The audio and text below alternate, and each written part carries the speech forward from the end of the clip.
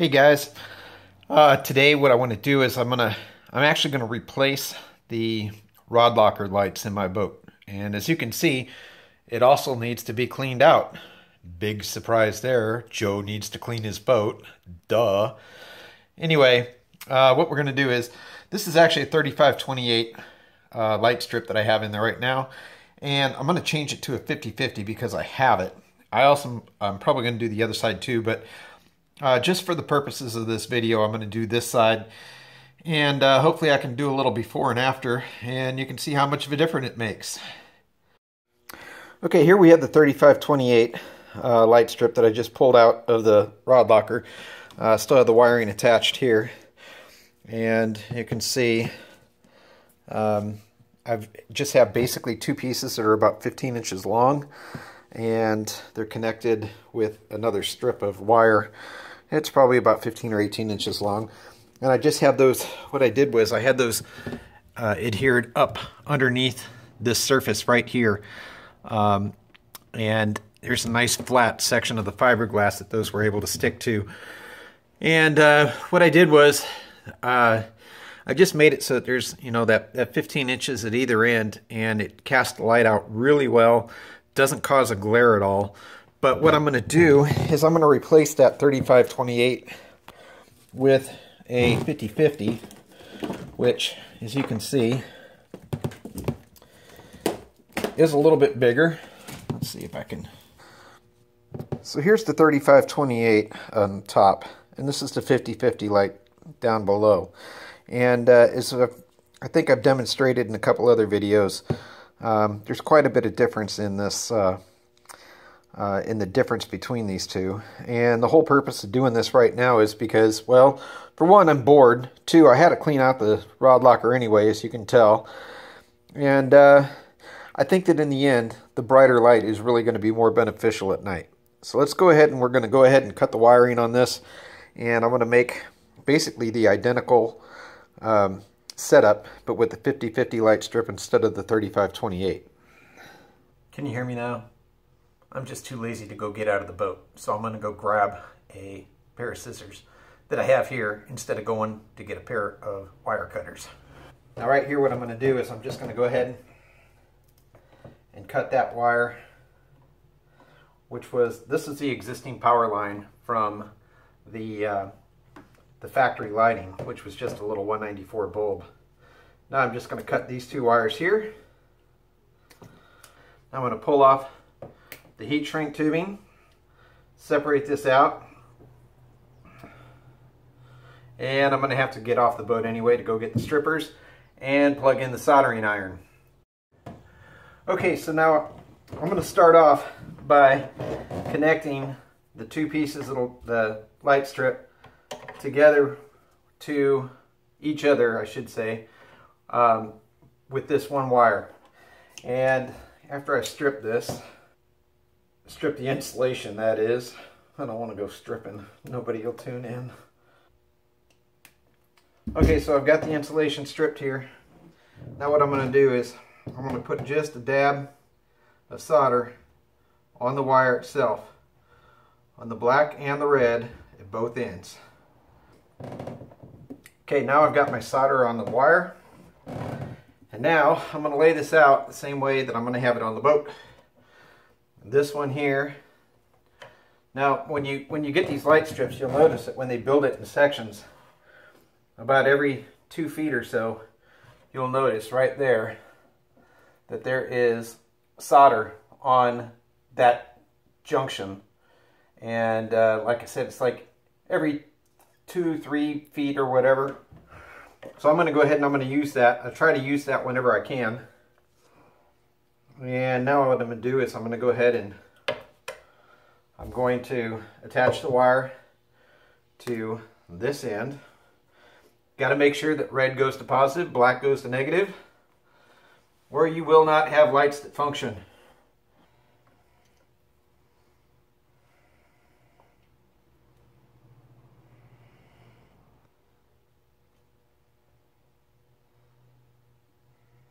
Okay, so we've got that first wire soldered. Now here's one of the trickiest parts of this whole thing.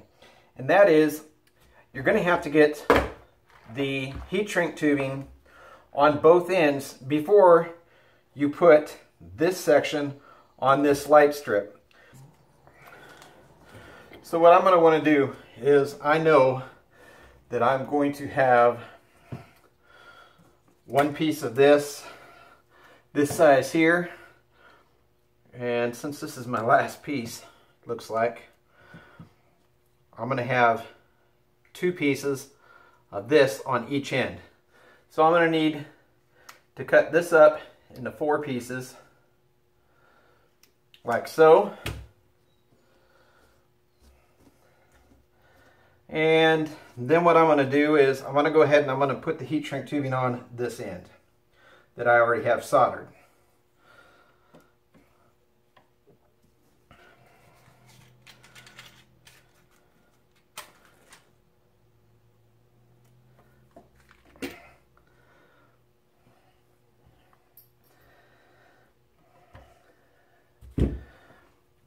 Okay, I'm not sure if I've mentioned before in other videos or not. I think I have, but I like to use a candle when I'm up here on the boat doing the heat shrink tubing.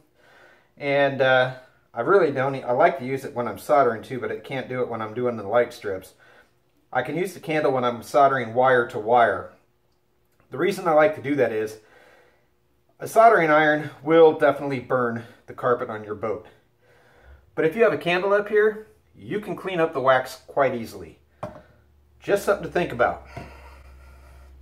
So now what I'm going to do is I'm going to put this first piece of heat shrink tubing. Now I'm going to put the second piece over the top of that.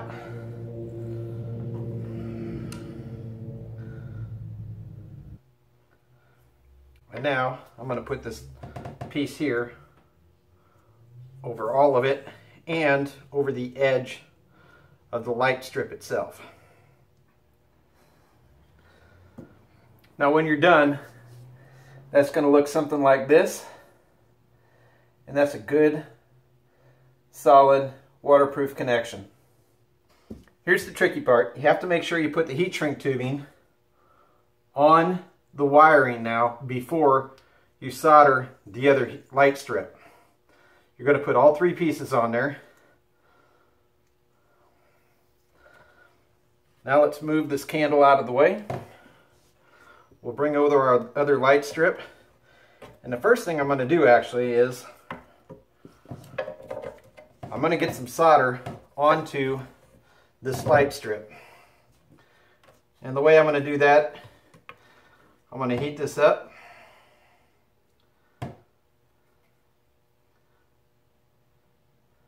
Then I'm just going to go ahead and melt in the solder. Now, again, you got to make sure you have the heat shrink tubing on here first. And then we're going to go ahead and again line up red with positive, black with negative.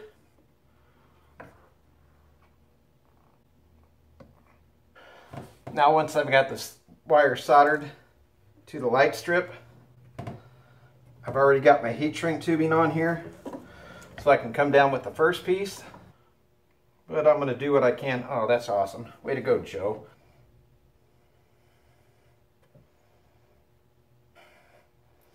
Now I'm going to do the second piece of the small heat shrink tubing.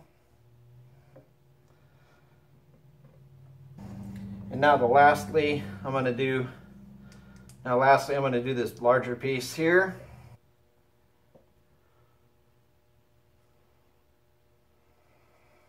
The only thing I've got left to do now is to strip the wires from the boat and then I'm going to connect this two-piece light strip that I made. I'm going to start off by putting some solder on the wire itself.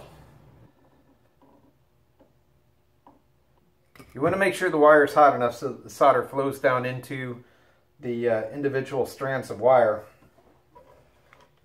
And again, we're going to have to put on our heat shrink tubing first. So the heat shrink tubing will go over the wire. Biggest piece first, then two smaller ones, and then we will solder on the wire onto the light strip.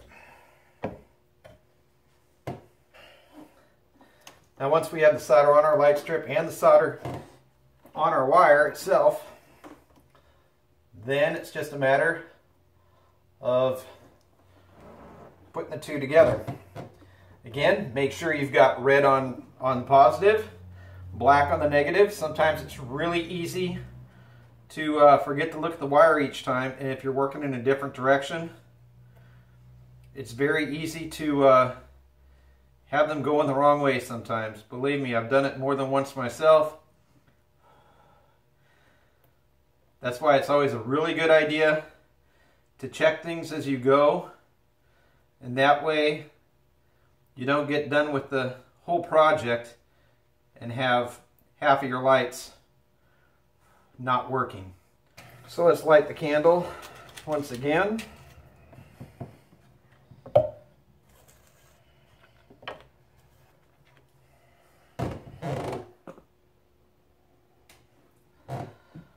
So here's our first piece of heat shrink tubing.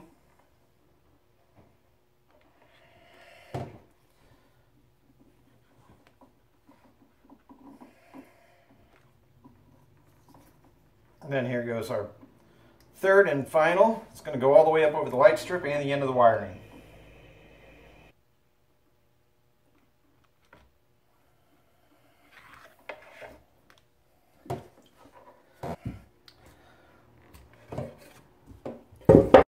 Okay, so now I've got the uh, the light strip section that I made, uh, same length as what it was before, and I've got it all together. And before I actually put it back up underneath this ledge. I'm going to go ahead and turn it on just to make sure it works. So let's hit the lights and see what it looks like.